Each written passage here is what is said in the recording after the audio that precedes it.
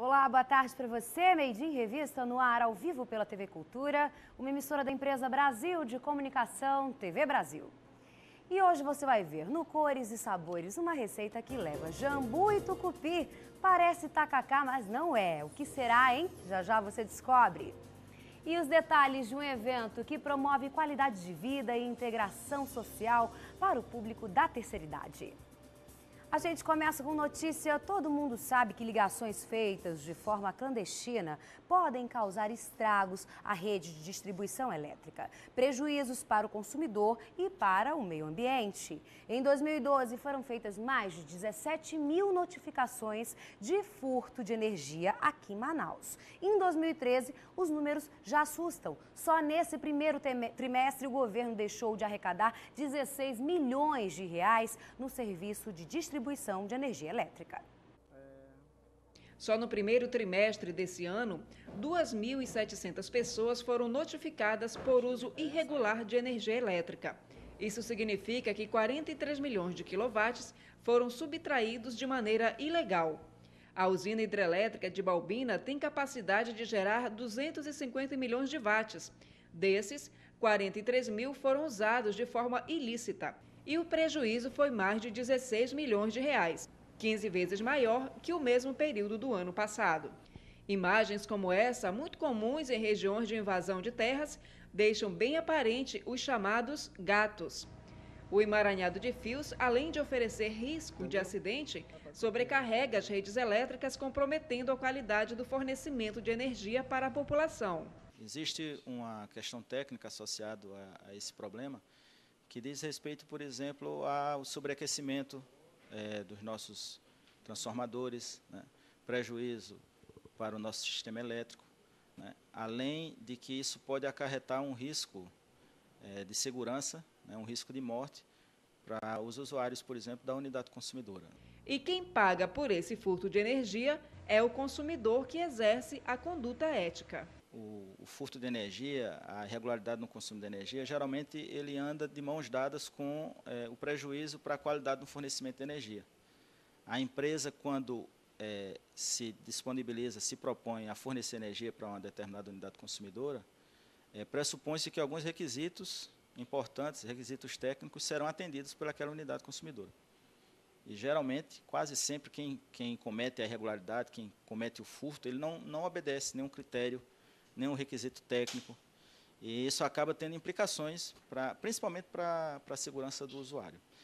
Furtar energia elétrica é crime e quem pratica essa ação está sujeito a multa. Isso implica na abertura de um, de um procedimento administrativo. Após uma análise conclusiva, decide-se é, se vai existir ou não algum valor a ser cobrado ao consumidor.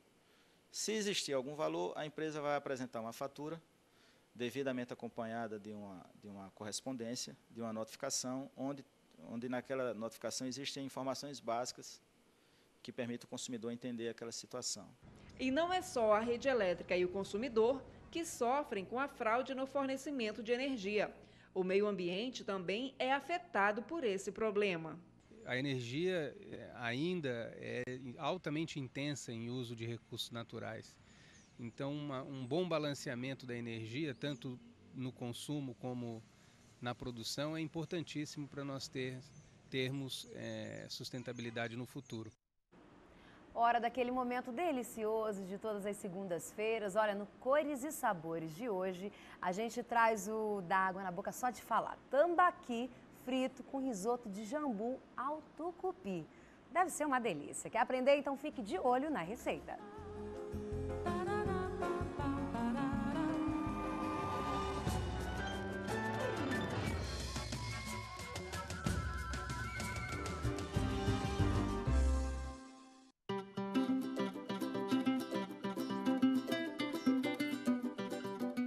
Olá, Vivian! No Cores e Sabores de hoje nós vamos aprender mais uma receita regional e bem fácil de fazer. É o tambaqui frito com risoto de jambu ao tucupi. E quem vai ensinar isso pra gente é a Regina Leite, que está aqui ao meu lado.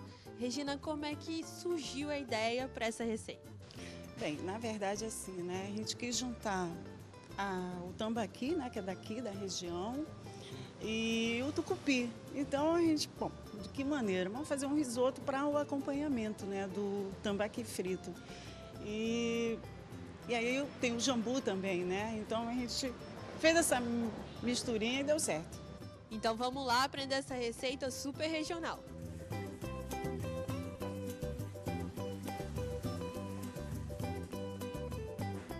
E vamos aos ingredientes do tambaqui frito com risoto de jambu ao tucupi. 4 costelas de tambaqui, 300 gramas de jambu, 100 gramas de camarão, 500 ml de tucupi, um limão, um dente de alho, uma xícara de farinha de trigo, duas xícaras de água, uma xícara de arroz, uma colher de manteiga sem sal, tempero completo, açafrão e sal a gosto. Então, Vivian, vamos começar agora o passo a passo do tambaqui frito com risoto de jambu ao tucupi. Quem vai iniciar agora esse passo a passo é o Ney Melo, que é o cozinheiro aqui no Taberna. A gente vai começar pelo arroz, pelo risoto. Vamos colocar duas colheres de, de sobremesa de óleo, um dente de alho, a xícara de arroz.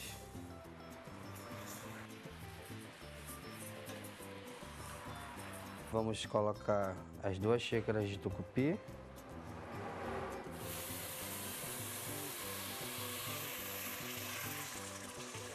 o arroz acaba que ele vai sendo cozido no próprio tucupi? Isso, isso mesmo. Mais uma por enquanto de água.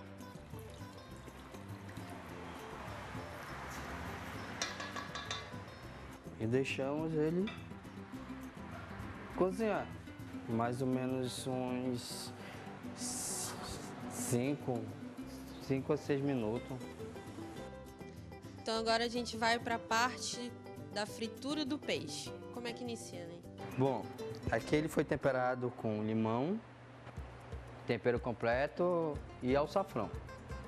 Bom, aqui a gente tem uma xícara de trigo para envolver o peixe, para poder ser frito.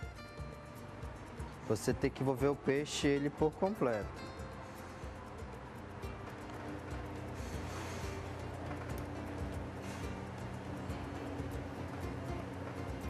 E agora vamos levar ele a, ao fogo. O óleo tem que estar em temperatura adequada a uma fritura e vamos colocar o peixe.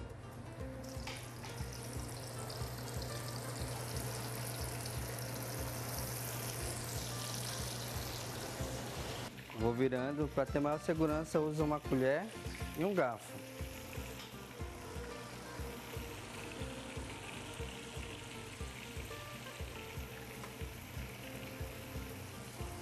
Agora vamos adicionar o jambu.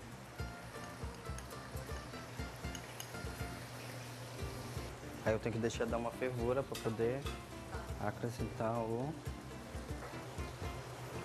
camarão. O camarão, ele é salgado.